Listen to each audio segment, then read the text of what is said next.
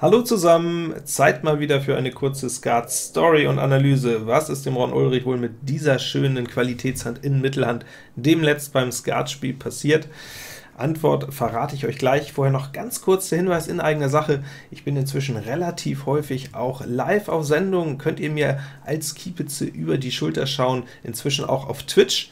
Ähm, schaut gerne mal rein, würde mich freuen. Sucht mal dort nach Skatkrieger auf Twitch Guckt auch gerne in den Zeitplan, meist so ab 22 Uhr ähm, will ich da auf Sendung gehen, und dann wollen wir Spaß beim Skat haben. Würde mich sehr freuen, wenn ihr euch auch dafür interessiert. So, Ron hat mir diese Verteilung eingereicht. Natürlich ähm, kurz vor Schluss im Turnier in aussichtsreicher Position, aber so oder so, 4 Asse, 2 Zehner, noch der König dabei. Logisch willst du das Ding als Gerang reizen, 20 kannst du drücken, also gute Karte. Schade, Vorhand reizt ein bisschen mit, das deutet natürlich immer schon auf so eine bisschen querstehende äh, Verteilung hin, aber nichtsdestotrotz, ich glaube, an diesem Blatt kommen die meisten Skatspieler nicht vorbei, ich also sicher auch nicht. Vorhand passt jetzt auf 30, könnte also ein Karo oder ein Herz sein, je nachdem wie er reizt, da das Karo Ass blank ist, vielleicht eher der Karo. Hinterhand hat kein weiteres Gebot. Ron guckt in den Skat und findet an sich ziemlich gut. Ja? Wobei dieser siebte Volle ist manchmal schon so ein bisschen ein Problem, weil man sich jetzt nicht so richtig entscheiden kann, was zu drücken. Und der fünfte Pik macht die Farbe natürlich jetzt auch relativ lang. Gut, ähm, Zwei volle runter ist sicher jetzt immer noch das Mittel der Wahl. Inzwischen würde ich auch sagen, die Arbeitshypothese Vorhand hat Karo gereizt, wo das Ass blank stehen geblieben ist, verstärkt sich.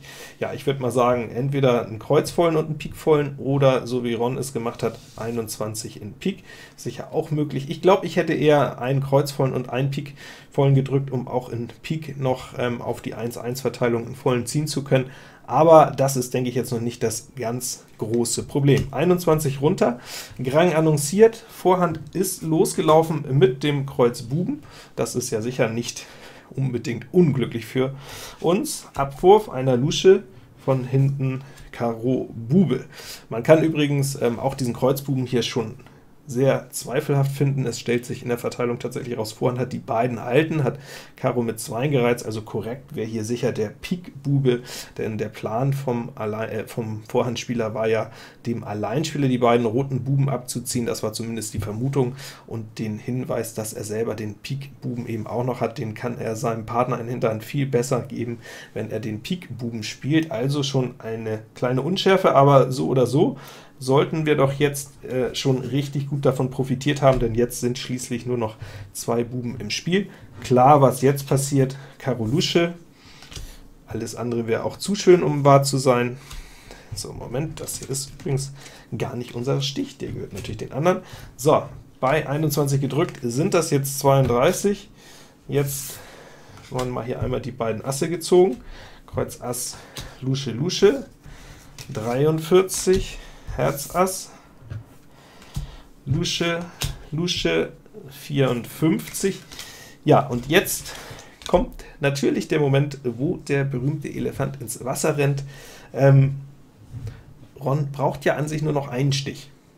Ein Stich reicht, also wenn Pik König mit Dame und Lusche läuft auf 61, Kreuz 10 läuft oder Herz 10 läuft, so oder so ist dann der Sack sofort zu. Kreuz König würde sogar auch reichen, wenn da Dame und Lusche kommt, aber dann kannst du natürlich auch die 10 spielen. Die Frage ist jetzt, hat Ron irgendeinen Anhaltspunkt, welche Karte er zuerst spielen soll? Was würdet ihr ihm hier vorschlagen?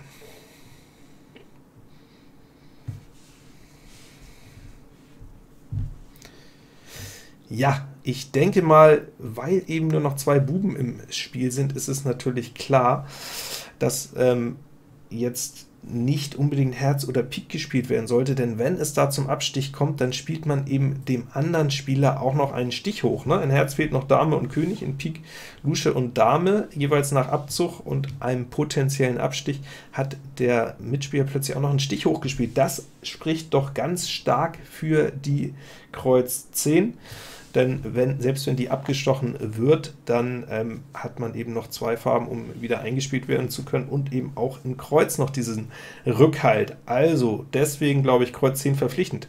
Was ist tatsächlich jetzt im Originalspiel passiert, und das ist natürlich mal wieder so typisch für Skat, Ron greift naja, so ein bisschen arglos jetzt hier eben in die Herz 10, und dann passiert das Unglück, es wird bedient, und Vorhand, der eben den Karo gereizt hat, hat jetzt wirklich noch Kreuz mit, Pik mit, aber eben kein Herz, kann jetzt hier stechen, und dann gab es eben keinen Stich mehr, denn jetzt auf die folgenden drei Karos konnte Hinterhand logischerweise auch noch seine fehlende Pik- und Kreuzkarte abschmeißen.